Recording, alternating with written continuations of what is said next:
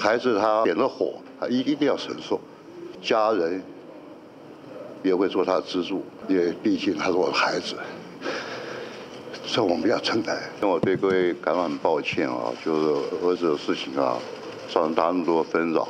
我只跟我儿子讲说，你不但要坦白做说明，而且更要坦诚做说明，不要试图在圆，这是没有啊，这不好的。二十八号中午知道的状况以后，呃，经过一番折腾，我当天我也跟总统提出请辞。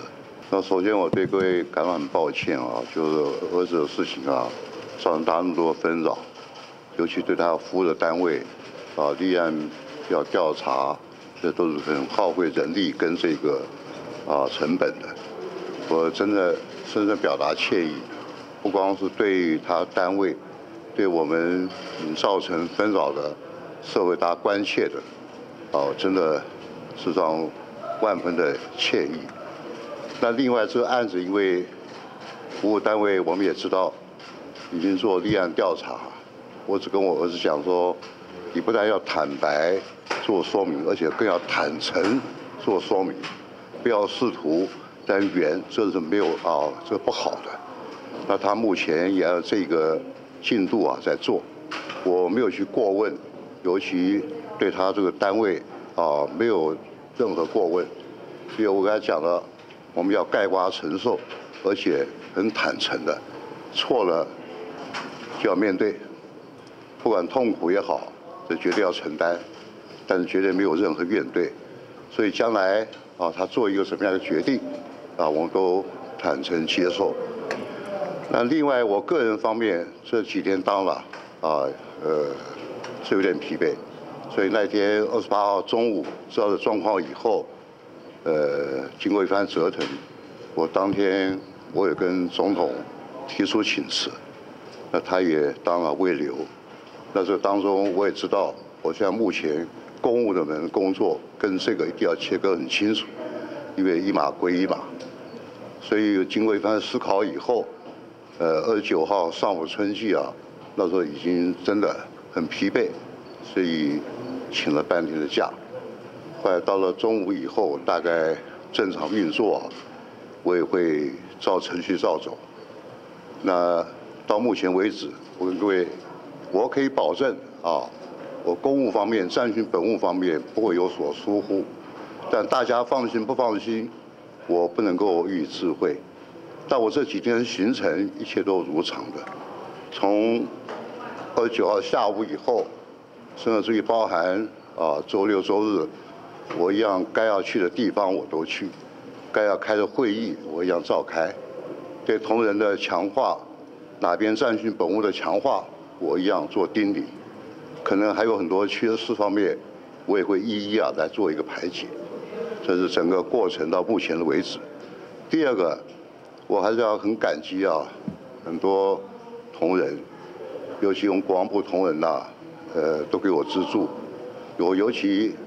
感激我们各阶层，我服务过单位，当包含总统、代副总统、肖大使，还有以前甚至于前副院长啊，都打电话，还有以前我们军中老长官，几乎啊，还有丁局长、老长官啊、局长，他特别都打电话，其他长官要么就以啊这个传讯。或者要求啊，其他人员代为啊问候，呃，包含委员也给我鼓舞。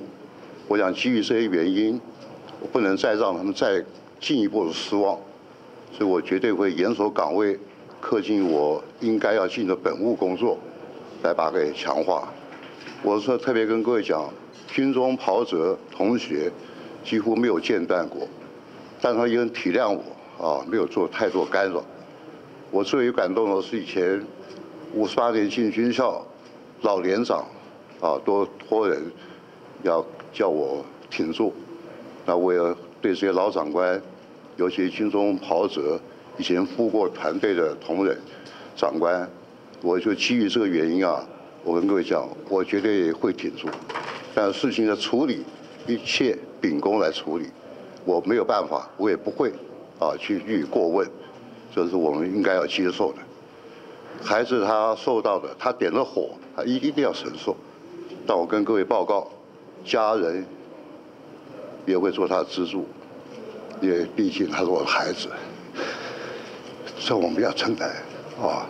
也希望大家能够了解啊，我并并并不期望大家有什么很具有信心要干的，我会做本务工作，还是跟大家保证。谢谢。会觉得担心这次涉及国安局的内斗的状况？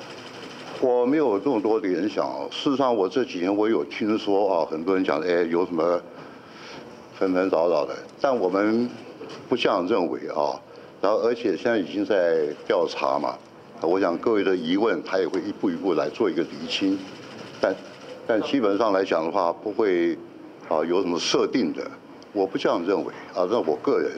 那其他的话，我只拜托讲说，如果没有很确认的话，呃，任何的这个说法，可能会带一些纷扰。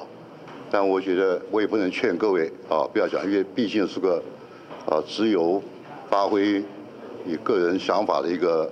社会多元化社会，但我期望啊，就是说，嗯，一切依法来处理啊，按照正常运作的话，我想对案情或对整个事态会比较啊，这个大家能够都能够接受，都能够了解，从这方面发展是。报人员，通过他的面相已经被暴露出来，会不会有所谓的怀疑？以及我们要怎么就是这样子来保护？可能你的儿子或是其他情报人员，如果发生这种事的话，是我想这个在他服务单位啊，经过一个处理以后，他最后还会有一些安排，这安排也可能啊做调整或如何啊，我都不会予以过问。但这是也是一个必然的吧，你想。不要讲这个情报工作人员，啊，就算一个普通的军人，他绝对也不会，也不妥，啊，让大家知道我是某人怎么样的。